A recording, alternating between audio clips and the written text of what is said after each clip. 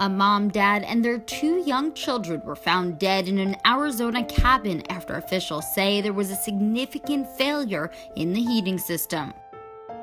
Authorities arrived at the home on a welfare check request from a family friend.